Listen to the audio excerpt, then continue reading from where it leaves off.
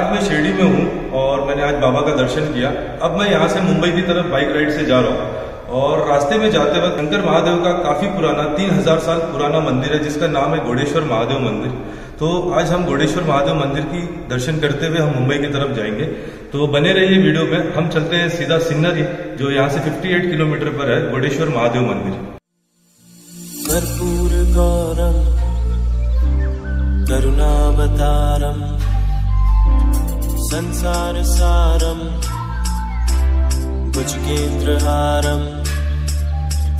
कर्पूरकारं करुणावतारं संसारसारं भुजकेन्द्रहारं सदा वसन्तं भवानी सहितं नमामि।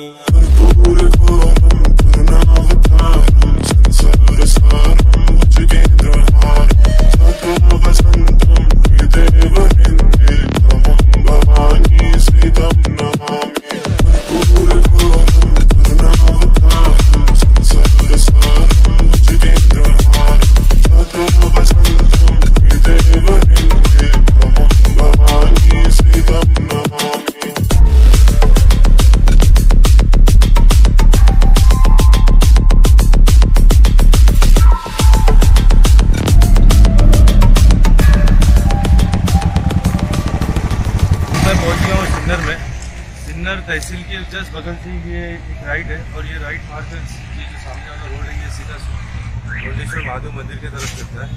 काफ़ी इजी सफ़र था ये शिरडी से मुंडेश्वर महादेव का। आने में हाईवे काफ़ी अच्छा है, कोई दिक्कत नहीं हुई। नॉन स्टॉप मैं शिरडी से सिन्नर ऑलमोस्ट 45 मिनट के अंदर मैं पहुँच गया। हम चलते हैं हम यहाँ से सीधा मंदिर में और देखते हैं मंदिर कैसा है।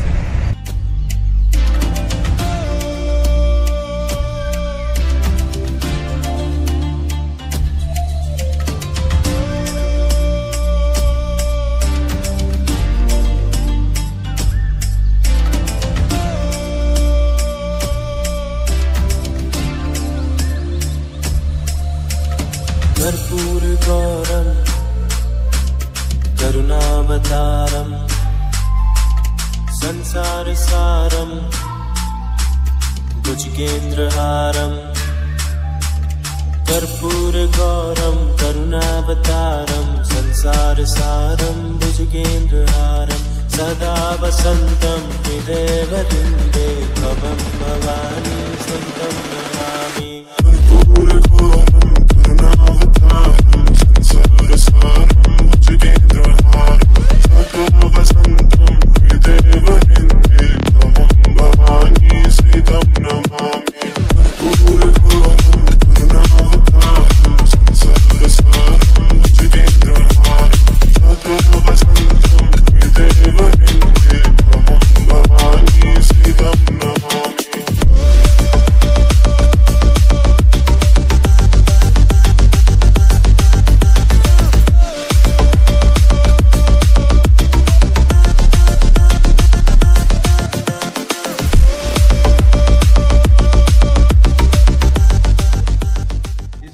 खास बात यह है कि ये मंदिर को इस आकार में बना है इस शेप में ये मंदिर है जैसे कि शंकर भगवान खुद तपस्या कर रहे हैं।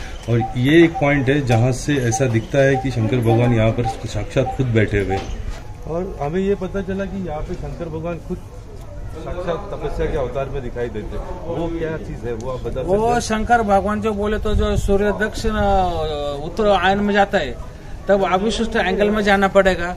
शंकर भगवान जब बैठे होते हैं पूजा के लिए बोलते हैं, अपन पूजा बैठा है वो जो दो कोपरे उसका गोंडा बिंडा सब कुछ दिखता है।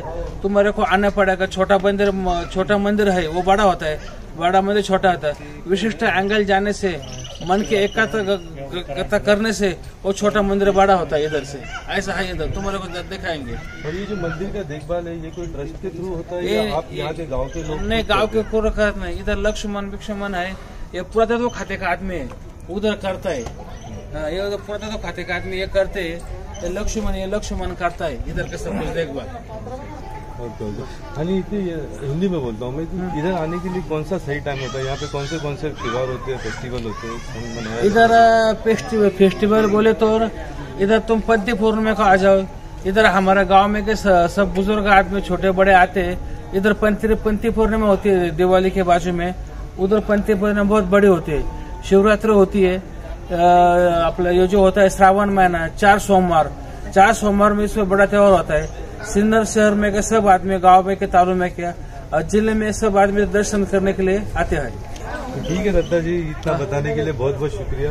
ये जानकारी हम यूट्यूब पर डालेंगे और हम चाहेंगे कि डालो, डालो तो। सारे देश में सारी दुनिया से लोग यहाँ पर आए और- करें और ये मंदिर का नाम सारी जगह पे क्योंकि ये बहुत पुराना मंदिर कर्पूरगौरम् करुणावतारम् संसारसारम् भुजकेन्द्रहारम् कर्पूरकारं करुणावतारं संसारसारं भुजकेन्द्रहारं सदा वसन्तं हि देवति भवानी सहितं नमामि। गाइस यही है गोंडेश्वर महादेव का मंदिर, ग्यारहवीं इलेवेंथ सेंचुरी का मंदिर है ये।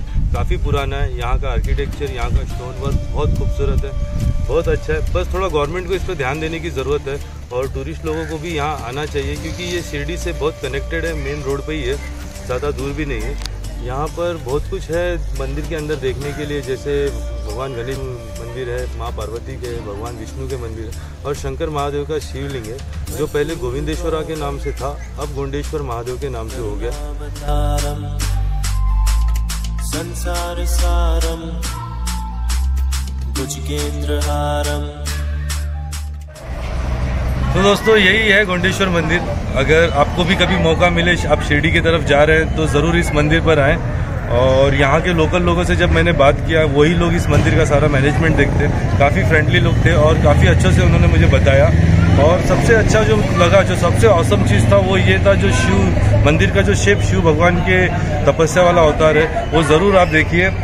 और अब मैं निकल रहा हूँ सीधा मुंबई, लगभग 200 किलोमीटर मुझे मुंबई ड्राइव करना है। तो मैं मुंबई जा रहा हूँ और ऐसे ही आप लोगों के लिए वीडियो बनाते रहूँगा। थैंक यू बाय मिलते हैं। बहुत जल्दी।